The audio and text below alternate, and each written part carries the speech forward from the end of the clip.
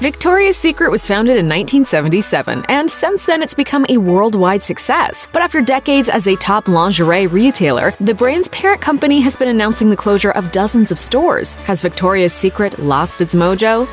In April 2019, Victoria's Secret parent company L Brands announced that Victoria's Secret would be closing 53 stores across North America throughout the year. For those not following the company closely, the news likely came as a shock. After all, the lingerie brand has been the number one of its kind for years. However, as Business Insider reported, the planned store closings were the result of the company's steadily declining performance across the board. The 2019 announcement came on the heels of a similar one in 2018, in which the company revealed plans to shutter 30 stores across the country. Previously, the chain had averaged around 15 store closings per year, with the sudden jump caused by slumping sales.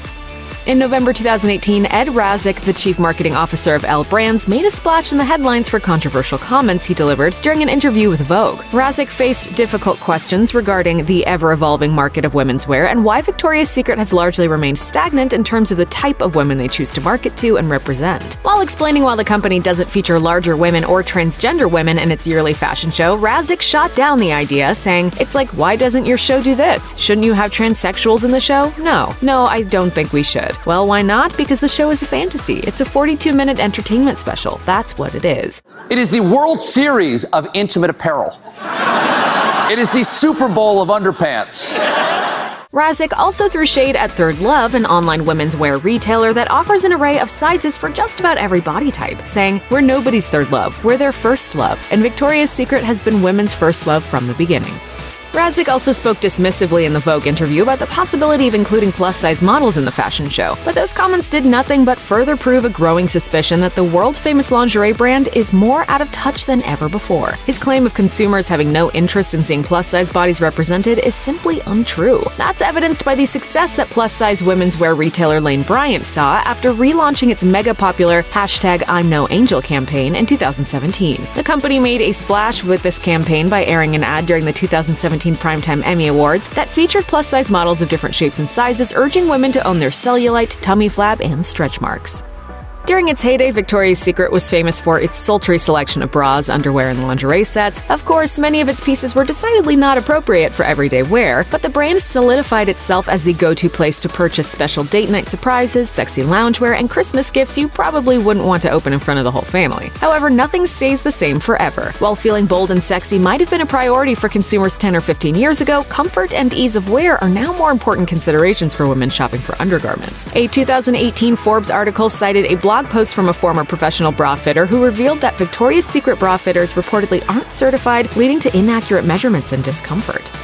Major celebrities have apparently had enough with Victoria's Secret as well, and in the age of social media, they can easily start a ripple effect among their followers by voicing their opinions and bringing to light their own issues with the retailer. In November 2017, the day before the Victoria's Secret fashion show was set to film, plus size model Ashley Graham took to Instagram to post a lingerie clad photo of herself strutting down a runway, complete with a photoshopped pair of angel wings. Without taking an outright jab at Victoria's Secret, Graham proved that any body type is worthy of angel status, not just the unattainable airbrushed bodies of Victoria's Secret models. In 2018, plus size model Tess Holliday left some choice words on Twitter for Ed Razek following his Vogue interview.